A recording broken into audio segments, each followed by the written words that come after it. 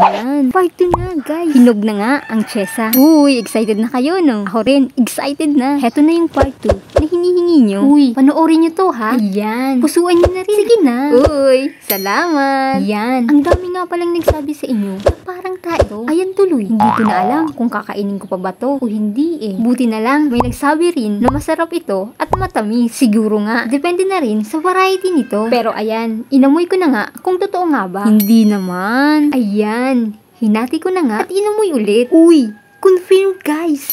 Hindi naman talaga. Ayan, tikman na natin guys. Yan, ang texture niya nga pala ay para kang kumain ng kamote na sobrang lambot. May pagkakahalin tulad din ito sa nilagang itlog. Pero, yung egg yolk lang, yung texture niya, yung lambot ng egg yolk ay magkahalin tulad. Kaya nga siguro tinawag itong egg fruit. Yan, Natawa nga sa akin si mama nung nakita niya na nag-video ako. Kaya ayun, nakitawa na rin ako.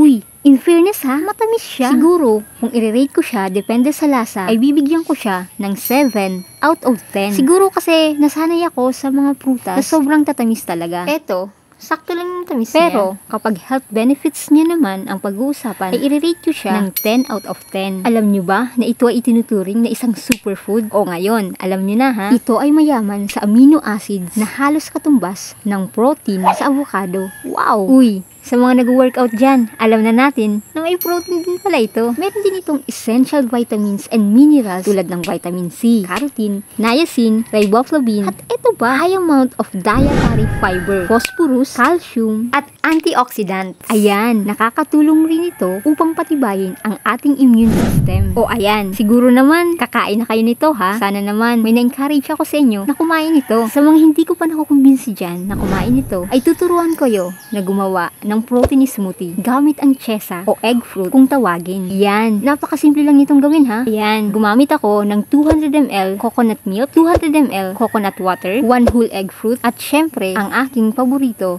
na Nutrilite All-Plant Protein. Isang kutsara nga pala na punong-puno ang inilagay ko. I-blend at isalin sa baso. Ayan, tinikman ko nga pala siya na wala akong inilagay na sweetener. Pero, hindi ko nagustuhan ang lasa. Kaya, ayan, naglagay ako ng condensed milk. Isang tablespoon lang. Hindi nga pala ako gumamit ng yelo sa recipe na ito. Yun guys, sa wakas, tapos na. So, syempre, titikman ko na. Wow! Legit guys, masarap siya. Siguro dahil bumagay yung condensed milk sa chesa. Wow, sobrang smooth niya nga pala. Lasa niya nga pala habang iniinom. E mararamdaman mo talaga na healthy ang iniinom mo. Tip ko nga pala sa inyo guys, kapag gagawa kayo nito, ay lagyan nyo ng yelo. Paniguradong, mas masarap siya. Ayan, kung i-rate ko nga pala ito, ay bibigyan ko siya ng 9 out of 10. Follow for more! Salamat!